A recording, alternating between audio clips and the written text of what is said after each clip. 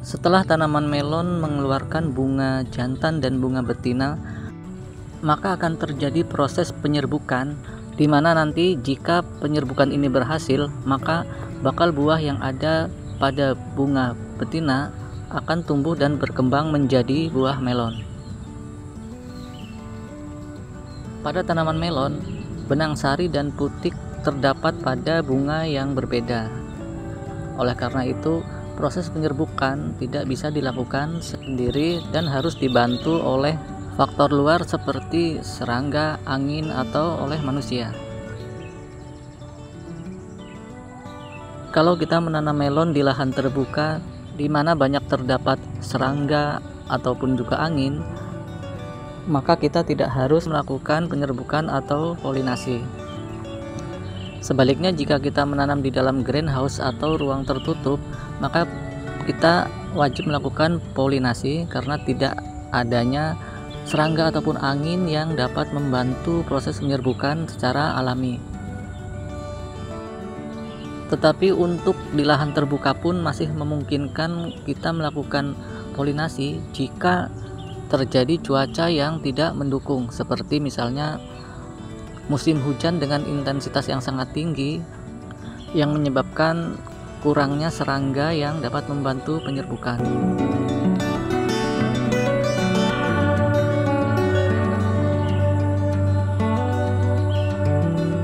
Jika kita akan melakukan proses menyerbukan sendiri, sebaiknya kita lakukan pada saat kondisi bunga benar-benar sedang mekar dan lebih bagus dilakukan pada waktu pagi hari, yaitu antara jam 7 sampai jam 10 pagi. Untuk membedakan bunga jantan dan bunga betina sangat mudah ya, yaitu dengan melihat pada bagian tangkai bunganya. Pada bunga jantan, tangkai bunganya berukuran kecil, sedangkan pada bunga betina, tangkai bunganya berukuran lebih besar, di mana bagian tangkai tersebut menggembung membentuk bakal buah.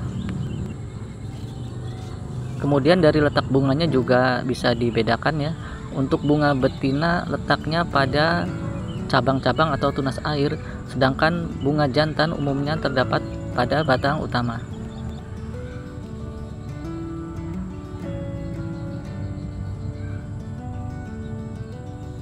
Ini adalah contoh bunga betina yang belum mekar.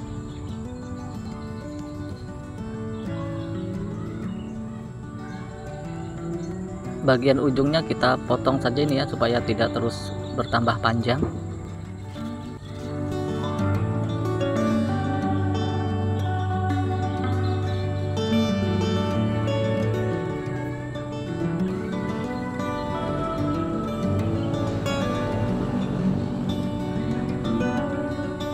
tunas-tunas yang tidak diperlukan juga kita buang saja ya tentunya setelah kita sisakan tiga atau empat bakal buah yang nantinya akan kita pelihara menjadi buah.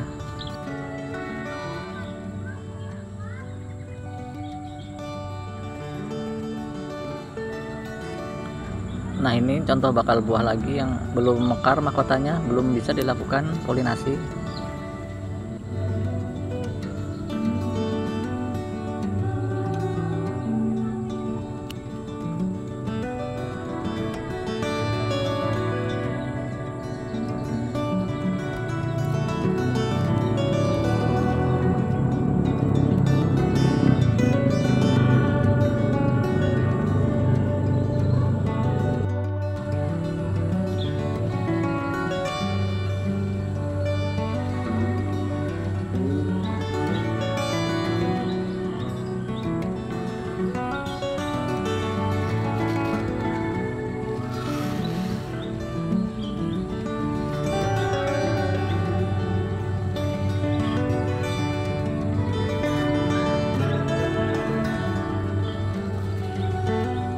atas bakal buah kita sisakan satu daun ya.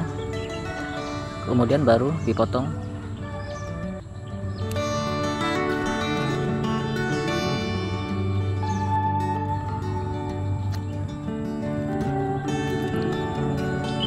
Nah ini ada satu bunga betina yang sudah mekar mahkotanya.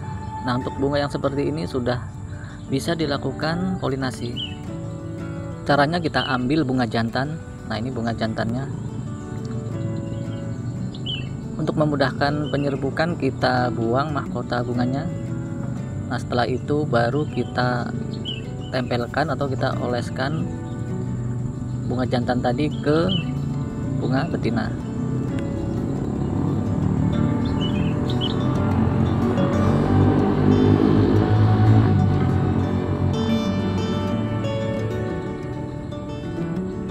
bunga jantannya bisa kita ambilkan dari bunga mana saja.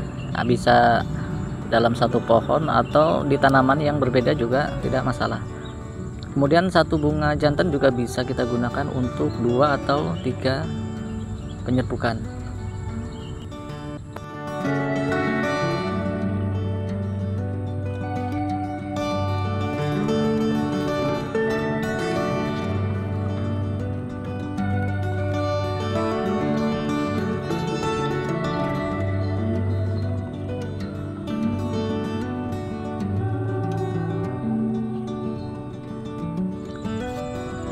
ini kita lihat bunga jantan ya. Tangkainya sangat kecil tidak terdapat bakal buah sehingga sangat mudah untuk membedakan dengan bunga betina.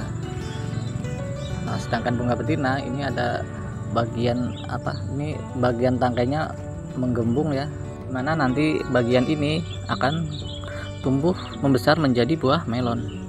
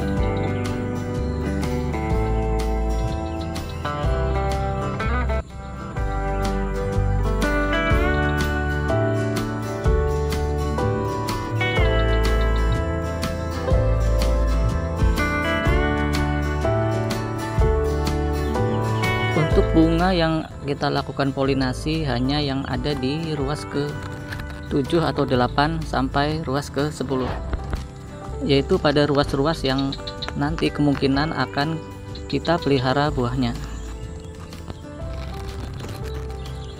Seperti ini misalnya ini ruas ke 8 kemudian ini ke 9 ke 10 dan yang ke-11 kita potong. Demikian juga yang ke-12 dan seterusnya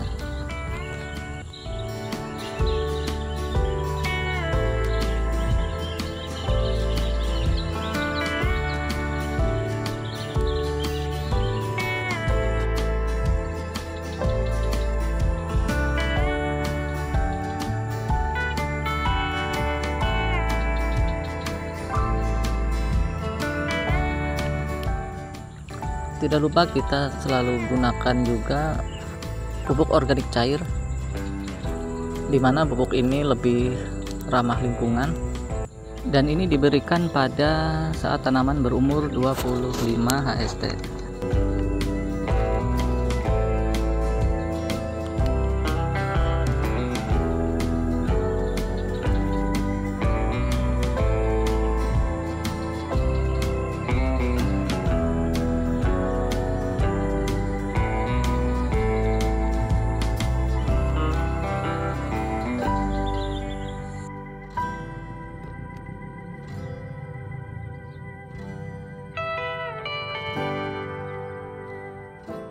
di umur 28 HST kita lakukan lagi pemupukan dengan menggunakan pupuk NPK 1616 dan MKP kita bisa lakukan dengan cara kocor ataupun tugal ya. Tentunya dengan mempertimbangkan faktor cuaca juga.